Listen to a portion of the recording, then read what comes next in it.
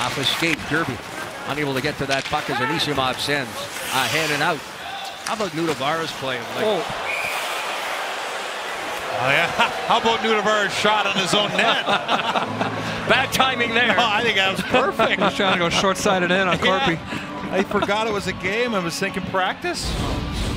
Let's take a look at it. What do you think, Seth? Uh, just keeping Korpi on his toes, I think. That's all. Oh, well Just testing him.